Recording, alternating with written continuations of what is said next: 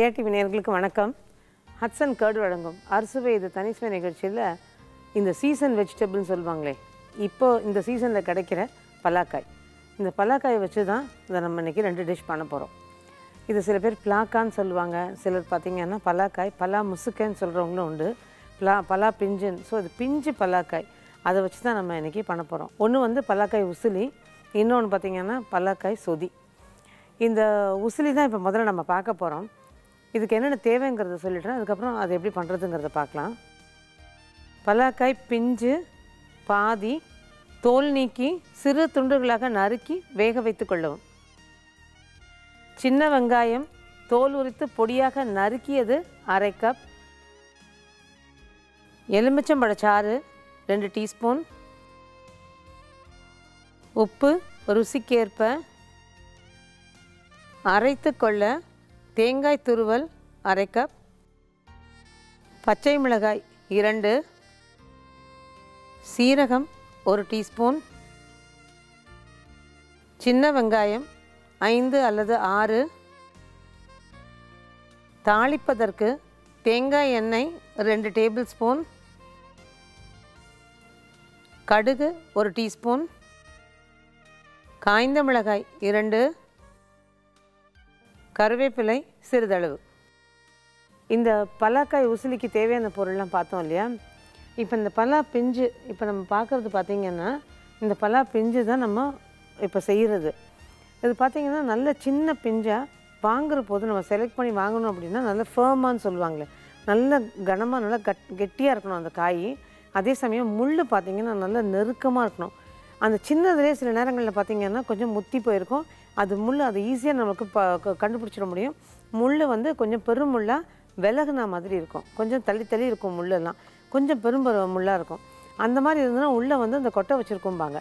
அப்போ அந்த நஞ்சு அதை சில பேர் அதை நஞ்சுன்னு சொல்லுவாங்க. அந்த நஞ்சு வச்சுருந்ததுன்னா அது பார்த்திங்கன்னா நீங்கள் என்ன சமைச்சாலும் ஒரு மாதிரி தோல் தோலும் நல்லாவே இருக்காது. அதனால் நல்ல பிஞ்சாக வாங்கினீங்கன்னா தான் அது நல்லா மெத்துன்னு வெந்து நல்லாவும் இருக்கும் சாப்பிட்றதுக்கு.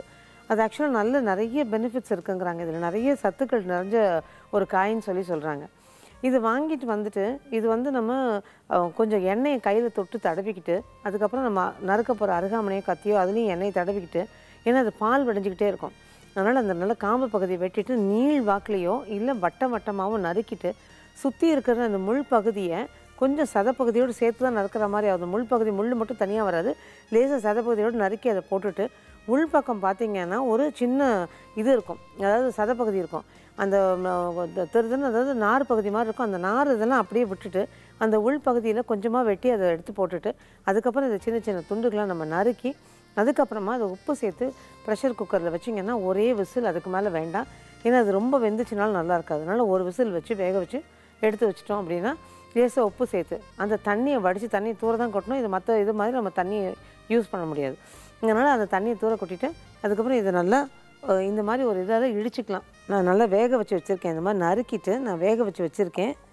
வேக வச்சு வச்சதை இப்போ அப்படி லேசாக இடிச்சுக்கலாம்.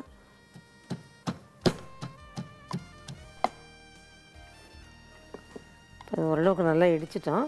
இப்போ இதை தாளிக்கிறத பார்க்கலாம் பாத்திரத்தை அடுப்பில் காய வச்சுட்டு அதில் தேங்காய் எண்ணெய். இதுக்கு வந்து அந்த தேங்காய் எண்ணெய் தான் நல்ல ஒரு ஃப்ளேவர் கொடுக்கும். அதனால் தேங்காய் எண்ணெய் சேர்த்துருக்கோம். விருப்பப்பட்டவங்க தேங்காய் எண்ணெய் சேர்த்துங்க. ஆக்சுவலாக இப்போல்லாம் வந்து தேங்காய் எண்ணெய் தேங்காய் சம்மந்தப்பட்டது நிறைய சேர்த்துக்க சொல்கிறாங்க அதாவது அளவுக்கு மீதிங்கிறது இல்லை பட் ஓரளவுக்கு நல்லாவே சேர்த்துக்கலாம். எவ்வளோக்குள்ள தேங்காய் வந்து கெடுதல் நினச்சி பயந்துட்டுறோமோ அந்த மாதிரி ஒரு விஷயம் இல்லாமல் இப்போ வந்து நம்ம நிறையவே தேங்காயும் தேங்காய் எண்ணெய் ஓரளவுக்கு நல்லா சேர்த்துக்கலாம் அப்படிங்கிறாங்க. ஸோ இப்போ வந்து இதை தாளிச்சிட்ருக்கோம். இதை தாளிக்கிறதுக்கு இடையில நம்ம பார்த்திங்கன்னா தேங்காய் சீரகம் பச்சை மிளகா சின்ன வெங்காயம். இப்போ இந்த தேங்காய் சின்ன வெங்காயம் பச்சை மிளகாய் சீரகம் சேர்த்து நல்லா கரகரப்பாக அரைச்சிட்டு வந்துடுவோம் தண்ணி சேர்க்காம அது கரகரப்பாக அரைக்கணும். அதுக்கப்புறம் இது தாளிக்கும் போது சேர்த்து எப்படி தாளிக்கிறதுங்கிறத பார்த்துடலாம். ஆனால் அதுக்கு இடையில ஹட்சன் கேர்டு வழங்கும். அறுசுவை இது தனிசுவை நிகழ்ச்சியில் ஒரு சின்ன commercial break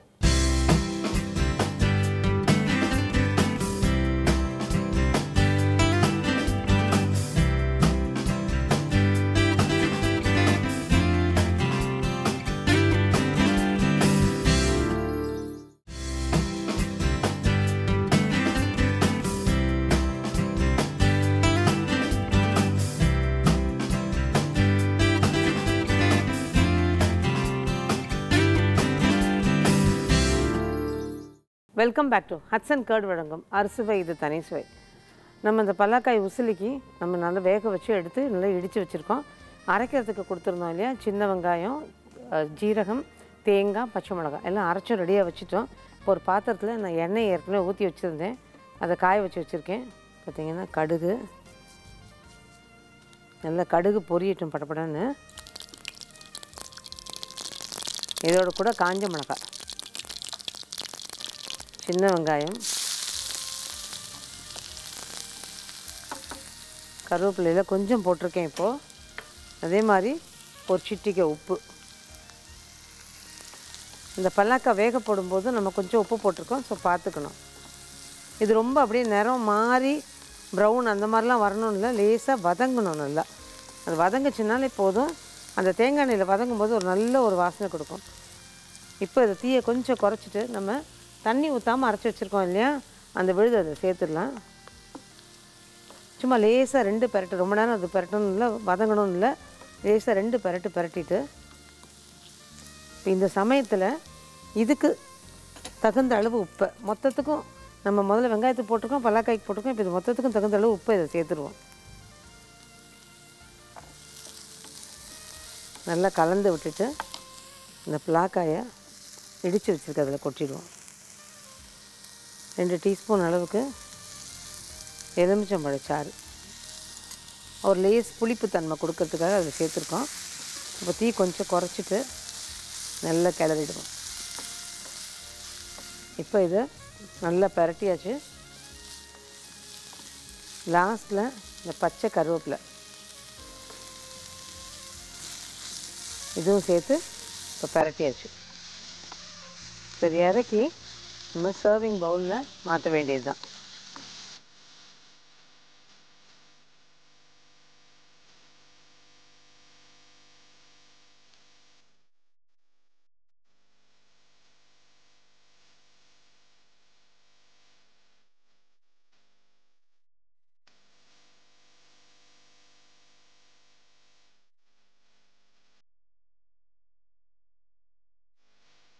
இப்போ இந்த பல்லாக்காய் உசிலி செஞ்சு எடுத்து ரெடியாக வச்சிட்டோம். நீ அடுத்து நம்ம பார்க்க போகிறது பல்லாக்காய் சொதி. இப்போ இந்த பல்லாக்காய் சொதின்னு பார்த்தீங்கன்னா ஏறக்குறைய குருமா ஸ்டைலில் தான் இருக்கும். ஆனால் இதில் என்னென்னா இந்த இஞ்சி பூண்டோட தாக்கம் ரொம்ப இருக்காது. அதே மாதிரி வெங்காயம் தக்காளிலாம் ரொம்ப அதிகம் கிடையாது. அதுக்கு மட்டும் நம்ம இப்போ வெட்டியிருக்கோம் இல்லையா? நம்ம ஏற்கனவே வெட்டி நம்ம ப- அந்த பல்லாக்காய் உசிலிக்கு பண்ணோம். அது வந்து சின்ன சின்னதாக வெட்டி நம்ம இடிக்கிறதுக்கு சரியாக இருந்தது. ஆனால் இந்த பல்லாக்காய் அவியலுக்கு பார்த்தீங்கன்னா நம்ம இந்த மாதிரி பெரிய பெரிய துண்டாக வெட்டியிருக்கோம். இப்போ இந்த மாதிரி வெட்டிக்கணும். இப்போ அடுத்து இதுக்கு என்னென்ன தேவைங்கிறதையும் பார்த்துடலாம்.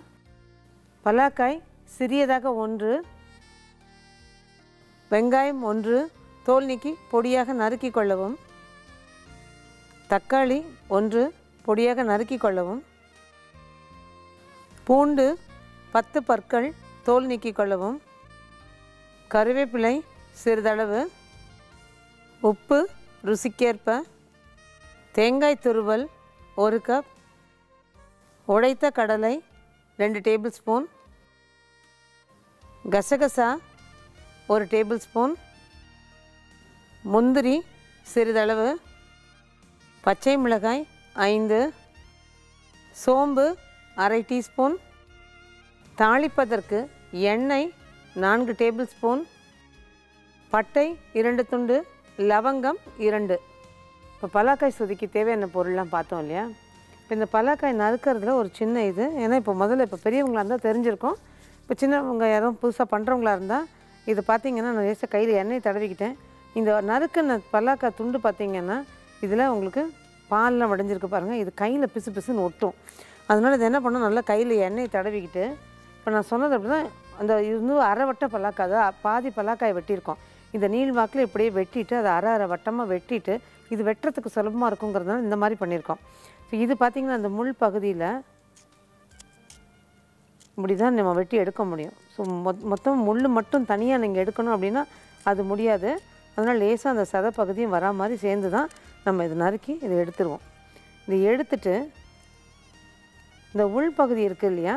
இந்த உள்பகுதியும் மொத் மொத்தமாக அந்த நரம்புக்கிட்ட வராமல் இதை லேசாக இப்படி சீவி எடுத்துடலாம். இப்போ பார்த்தீங்கன்னா இந்த மாதிரி ஒரு பீஸ் நமக்கு கிடைக்கும். இப்போ இதை வந்து சின்ன சின்ன துண்டாக நம்ம நறுக்கிடணும். இப்போ நறுக்கும் போதே உங்களுக்கு அது பால் வருது பாருங்கள் அதனால் எல்லாமே நம்ம கையில் எண்ணெயை தடவிக்கிட்டு நறுக்கணுன்னா நம்ம கையை கழுவிக்கிறதுக்கும் சுலபமாக இருக்கும். இந்த மாதிரி சின்ன சின்ன துண்டுகளாக நறுக்கிடணும் நம்ம.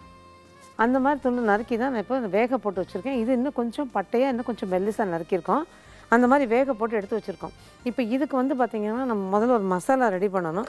அந்த மசாலாவுக்கு ஒரு பாத்திரம் போட்டிருக்கேன். நம்ம அரைக்கிறதுக்குன்னு பொருள் கொடுத்துருக்கோம் இல்லையா?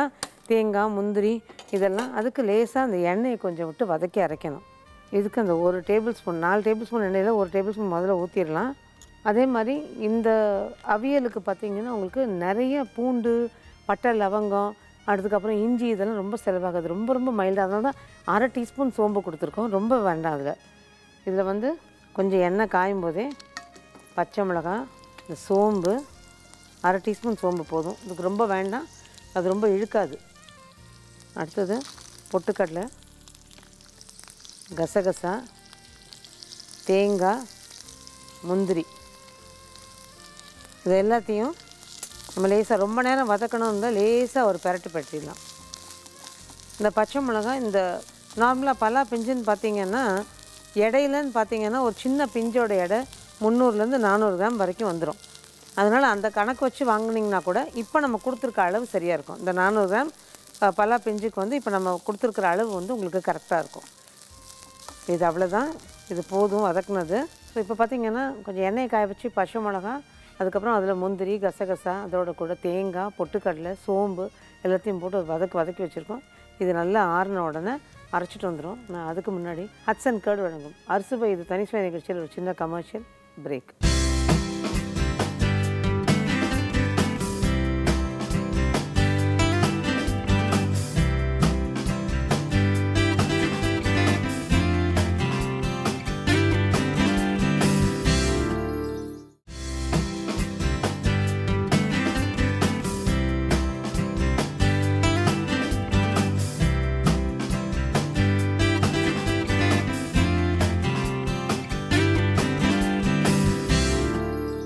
welcome back to Hatsun curd வழங்கும். அறுசுவை இது தனி சுவை. நம்ம வந்து பலாக்காய் சொதுக்கி வதக்கியிருந்தோம் இல்லையா? அதாவது தேங்காய் பொட்டுக்கடலை கசகசா அப்புறம் கொஞ்சம் முந்திரி பருப்பு பச்சை மிளகாய் சோம்பு எல்லாம் சேர்த்து ஒரு வதக்கு வதக்கி நல்லா விழுதாக அதோ அரைச்சி எடுத்துகிட்டு வந்திருக்கேன். இந்த பலாக்காயும் பார்த்திங்கன்னா தோல் நீக்கி அந்த உள்பகுதியை நீக்கிட்டு நல்லா பட்டப்பட்டையை கட் பண்ணி கொஞ்சம் உப்பு சேர்த்து வேக வச்சு எடுத்திருக்கேன். இப்போ ஒரு பாத்திரத்தை அடுப்பில் போட்டிருக்கேன் இதில். இதில் வந்து தண்ணி வச்சு வச்சுருக்கேன். தண்ணி கொதிக்கட்டும்னு சொல்லிட்டு வச்சு வச்சுருக்கேன். இன்னொரு பாத்திரத்தை நம்ம அடுப்பில் போட்டுட்டு அதை தாளிக்கிறத பார்க்கலாம் இப்போ பூண்டு பார்த்திங்கன்னா இதோட நான் வந்து மசாலாவோட சேர்த்து அரைக்கலை. ஏன்னா அந்த மசாலாவோட சேர்த்து அரைக்கும்போது போது கொஞ்சம் ஸ்ட்ராங்காக இருக்கும். அதனால் நம்ம வதக்கும் போது இந்த இந்த பர்டிகுலர் டிஷ்ஷுக்கு பார்த்திங்கன்னா வதக்கும் போது போட்டிங்கன்னா ரொம்ப நல்லாயிருக்கும் இதுக்கு எண்ணெய் நம்ம மீதமுள்ள எண்ணெய் இதை சேர்த்துக்குவோம். அதே மாதிரி பலாக்காய் வேக வைக்கிறதும் பார்த்தீங்கன்னா ரொம்ப அப்படியே மெத்துன்னு வெந்துருச்சுன்னா அந்த ருசி போயிரும்பாங்க. இது வந்து செட்டிநாடு பக்கம் உள்ள வழக்கம். பார்த்திங்கன்னா அப்படியே நீங்கள் குக்கரில் போட்டிங்கன்னா கூட ஒரு விசில் வச்சு இறக்கிடுங்க அதுக்கு மேலே வேண்டாம். அந்த நறுக்குன்னு இருக்கணும். கடிக்கும் போது நறுக்குன்னு இருந்தால் தான் அந்த பலக்காய் ஏதோ வேகாமல் இல்லை வெந்தது வந்து ஒரு மாதிரி ச- ரொம்ப சாஃப்டாக ஆகிடக்கூடாது அந்த மாதிரி இருந்தால் தான் இது நல்லாயிருக்கும் சாப்பிட்றதுக்கு. இப்போது இதில் வந்து நம்ம சொன்ன அந்த பட்டை ரெண்டே ரெண்டு கிராம்பு அதுக்கு மேலே வேண்டாம். அந்த லவங்கம் வந்து ரெண்டே ரெண்டு பீஸ் போதும். அதோட கூட வெங்காயம். நறுக்கி வச்சுருக்க வெங்காயம் கொஞ்சம் கருவேப்பிலை. இதோட கூட சிட்டிக்க உப்பு. பூண்டு நசுக்கி வச்சுருக்க பூண்டு. தோல் உரித்து நசுக்கி வச்சுருக்கோம். இந்த பூண்டும் பார்த்திங்கன்னா நான் நாட்டு பூண்டு சின்ன பூண்டு தான் சேர்த்துருக்கேன். நம்ம வந்து பெரிய பூண்டு அளவு இல்லை இது. சின்ன பூண்டு தான். அந்த சின்ன பூண்டை வந்து உங்களுக்கு பத்து பல் எடுக்கிற போது கரெக்டாக இருக்கும். பெரிய பூண்டு வச்சுருந்து அதை எடுக்கிறீங்க அப்படின்னா ஒரு நா- அஞ்சு பல் இருந்தால் போதும். அதுக்கு மேலே தேவையில்லை. இது வெங்காயம் வந்து ரொம்ப வதங்கி அந்த மாதிரிலாம் இல்லை. நார்மலாக கொஞ்சமாக அந்த லேசாக ஒரு சாஃப்ட்னஸ் வந்தால் போதும். இந்த பக்கம் கிட்டத்தட்ட நான் ஒரு ஒரு ஒன்றரை டம்ளர் ரெண்டு டம்ளர் அளவுக்கு தண்ணி ஊற்றி கொதிக்க வச்சுருக்கேன். அது கொதி வரப்போகுது. இந்த வெங்காயம் வதங்கிடுச்சு. இதில் தக்காளி சேர்த்துக்கலாம். இதுக்கு தக்காளி வந்து சின்ன சைஸ் தக்காளியாக ஒன்று இருந்ததுன்னா போதும். அதுக்கு மேலே இதுக்கு தக்காளி வேண்டாம். அந்த புளிப்பு வந்து இதுக்கு அவ்வளோ ஒரு டேஸ்ட்டை கொடுக்காது. அதனால் ரொம்ப த பெரிய தக்காளியாக போடாதீங்க. சின்ன தக்காளியாக இருந்ததுன்னா ஒன்று நறுக்கிட்டால் போதும். இப்போ இந்த சொதிக்கு தகுந்த அளவு இதில் உப்பை சேர்த்துக்கலாம். அந்த தக்காளி கரைஞ்சி அதில் வேகணும். இப்போ தக்காளி கரைஞ்சிருக்கு பாருங்கள் நல்லா இந்த பெரிய பீஸ் மட்டும் கொஞ்சம் இதுவாக இருக்குது இந்த பெரிய பெரிய பீஸாக இருக்கிறது சின்னதெல்லாம் கரைஞ்சிருச்சு. இந்த அளவு இருந்தால் போதும். ஏன்னா இதில் திரும்ப நம்ம அதில் ஒரு நிமிஷம் கொதிக்க விடுவோம். இப்போ இந்த பக்கமும் தண்ணி கொதிக்க ஆரம்பிச்சிருச்சு. இந்த பக்கமும் இது வதங்கிருச்சு. இப்போ வந்து நம்ம இந்த பாத்திரத்தை இதில் மாற்றிடலாம் மாற்றிட்டு இந்த வதக்கி வச்சுருக்கதை இதில் போட்டுடலாம். இதுக்கு விருப்பப்பட்டவங்க ஒரு கலர் பிடிக்கும் பிடிக்கும்னு நினைக்கிறவங்க சின் கொஞ்சமாக ஒரு சிட்டிகை மஞ்சள் தூள் சேர்த்துக்கலாம் அதில். பட் இன்றைக்கி நான் கலர்லாம் சேர்க்கல அந்த கலர் பிடிக்கும்னு நினைக்கிறவங்க அந்த மஞ்சள் தூள் சேர்த்துக்கலாம். சிகப்பு கலர்லாம் இதில் இல்லை. ஏன்னா இந்த பச்சை மிளகா சேர்க்கறதுனால மஞ்சள் தூள் தான் அதுக்கு ஆப்டாக இருக்கும். இதோட கூட நறுக்கி வேக வச்ச பலாப்பிஞ்சு இப்போ இந்த அரைச்சி வச்சுருக்க விழுது அதையும் இதோடு சேர்த்துருவோம். நம்ம திக்னிங் ஏஜென்ட்டாக கொடுத்துருக்கிறது வந்து முந்திரி பருப்பு கசகசா பொட்டுக்கடலை. இந்த பொட்டுக்கடலையை மட்டும் அதிகப்படுத்திட்டீங்க அப்படின்னா இந்த கலரே ஒரு மாதிரி டல் கலர் ஆகும். ருசியும் மாறும். அதனால் கொஞ்சம் பைண்டிங் ஏஜென்ட்டுக்கு அதை கொஞ்சம் சேர்த்துக்கிட்டு கூட கசகசா சேர்த்துக்கோங்க முந்திரி பருப்பு விருப்பப்பட்டும் சேர்த்துங்க இல்லை வேணாம் நாங்கள் இது மட்டும் போதும்னு நினைக்கிறவங்கள தான் கசகசா கொஞ்சம் கூட்டிகிட்டு பொட்டுக்கடலையை குறைச்சிடுங்க.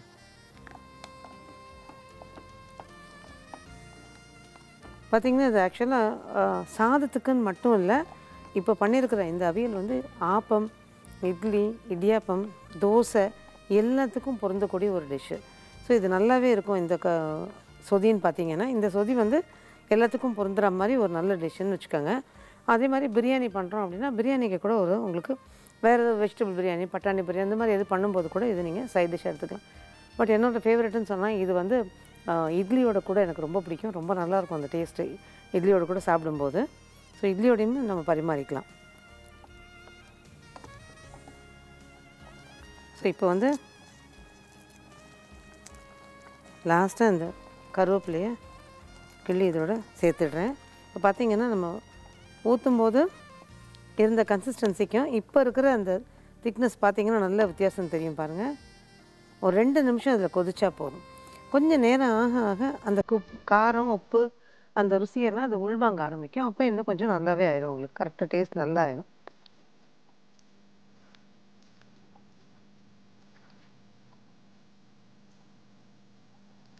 இப்போ இதை அடுப்பை ஆஃப் பண்ணிவிட்டு ஒரு சர்விங் பவுலுக்கு மாற்றி.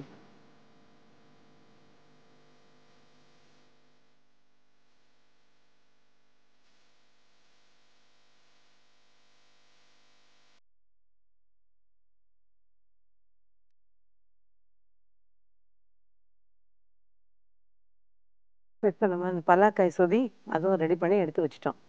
பார்த்தீங்கன்னா நல்லா சுட சுட இட்லி ஊற்றி செட்டிநாட்டு மல்லிப்பூ இட்லி கேட்கவே வேணாம். இருக்கும் நல்ல காம்பினேஷன் அதுவும் இல்லையா? இருக்கவே இருக்க கல் தோசை. நல்ல சாஃப்ட் தோசை. இதுக்கு அந்த முறுமுறுப்பு தோசையெல்லாம் அவ்வளோ டேஸ்டியாக இருக்கும்னு எனக்கு தோணல. ஆனால் அந்த சாஃப்ட் தோசை ஊற்றுனீங்கன்னா செட்டிநாடு பக்கம் இளந்தோசைன்னு ஒன்று ஊற்றுவாங்க இந்த தோசை மா இட்லி மாவையே கொஞ்சம் தண்ணியாக கரைச்சிக்கிட்டு மெல்லிய இது தோசையாக ஊற்றுவாங்க ஒரு பத்து செகண்ட் அது வெந்ததுன்னா பெரிய விஷயம். மூடி போட்டு மூடி போட்டு மூடி போட்டு அப்படியே எடுத்து உடனே உடனே உடனே எடுத்துருவாங்க. ஒரு நூறு தோசை அடுக்குனா கூட உங்களுக்கு ஒரு ரெண்டு இன்ச்சுக்கு மேலே இருக்காது அது.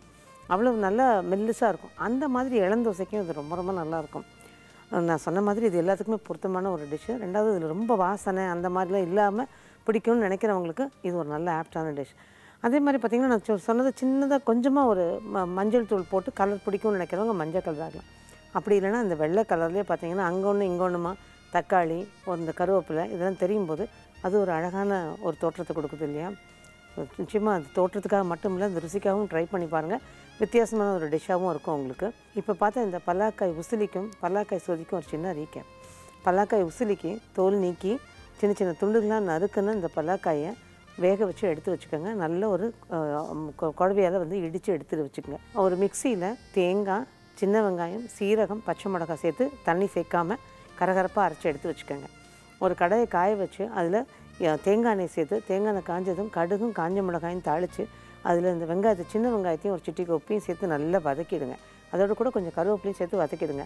அது நல்லா வதங்கினதுக்கு அப்புறமா அரைச்ச விழுதியும் சேர்த்து ஒரு ரெண்டு பரட்டு பரட்டிட்டு அதுக்கப்புறமா இடித்து வச்சுருக்க பலாச்சக்கையை போட்டு அதோட கூட கொஞ்சமாக எலுமிச்சம்பழ சாறு உப்பும் சேர்த்து நல்லா கலந்துட்டு எடுத்தீங்க அப்படின்னா பலாக்காய் உசிலி தயார். இப்போ இந்த பலாக்காய் சுதிக்கு ஒரு சின்ன ரீக்கேப். இந்த பல்லாக்காய் சொதுக்கி பலாக்காயை தோல் நீக்கிட்டு பட்டப்பட்ட துண்டுக்கெலாம் நறுக்கி எடுத்து வச்சுக்கிட்டு உப்பு சேர்த்து அதை வேக வச்சு எடுத்து வச்சுக்கோங்க. ஒரு கடாயை காய வச்சு அதில் கொஞ்சமாக எண்ணெய் விட்டு பச்சை மிளகா அதில் சோம்பு பொட்டுக்கடலை கசகசா தேங்காய் முந்திரி எல்லாம் சேர்த்து ஒரு வதக்கு வதக்கிட்டு அதை நல்லா விழுதாக அரைச்சி எடுத்து வச்சுக்கோங்க. திரும்ப இன்னொரு கடாயை காய வச்சுட்டு ஒரு பாத்திரத்தில் தண்ணி ஒரு பக்கம் கொதிக்க வச்சுங்க ஒரு கடாயை காய வச்சு அதில் பட்டை லவங்கத்தை தாளித்து வெங்காயத்தை வதக்குங்க. வெங்காயம் வதங்கினோடனே கொஞ்சம் கருவேப்பிலை பூண்டு தக்காளி சேர்த்து தேவையான உப்பையும் சேர்த்து நல்லா வதக்கிட்டு அதை அப்படியே கொதிச்சுட்டு இருக்க தண்ணியில் தூக்கி ஊற்றி அரைச்சிருக்க விழுதியும் அடுத்தது வேக வச்சு வச்சுருக்க பல்லாக்காயும் சேர்த்து தேவையான உப்பு சேர்த்து நல்லா ரெண்டு நிமிஷம் கொதிக்க விட்டு கருவேப்பிலை தூவி இறக்குனா பல்லாக்காய் சுதி தயார். எனக்கு ரெண்டு டிஷ்ஷுமே பார்த்திங்கன்னா சீசனுக்கு ஆப்டாக கிடைக்கிற காய்கறியை வச்சு அதாவது பலாக்காயை வச்சு நம்ம பண்ணியிருக்கோம். நிச்சயமாக வந்து ஒரு சைட் டிஷ்ஷும் அதாவது இட்லி தோசைக்கான ஒரு சைட் டிஷ்ஷாகவும் ஆச்சு. இன்னொன்று பார்த்தீங்கன்னா சாதத்துக்கான சைட் டிஷ்ஷாகவும் ஆச்சு. ஸோ நிச்சயமாக இது நேரில் பிடிக்கும்னு நினைக்கிறேன். ட்ரையும் பண்ணுவீங்க. பண்ணுறதோட மட்டும் இல்லாமல் எங்கே பார்க்கும்போதும் இது நல்லா இருக்குது அது நல்லா இருக்குது நீங்கள் சின்ன சின்ன சஜஷன்ஸ் இது பண்ணி பாருங்கள் பண்ணி காமிங்க மேடம் அது பண்ணி காமிங்க மேடம். நீங்கள் சொல்லும்போது கேட்கறதுக்கு ரொம்ப சந்தோஷமாக இருக்குது இது மேலும் தொடரட்டும். மீண்டும் ஹட்ஸ் அண்ட் கேர்டு வழங்கும் அறுசுவை இது தனிசுவை நிகழ்ச்சியில் வரும் வாரமும் உங்களை சந்திக்கிறேன். நன்றி வணக்கம்.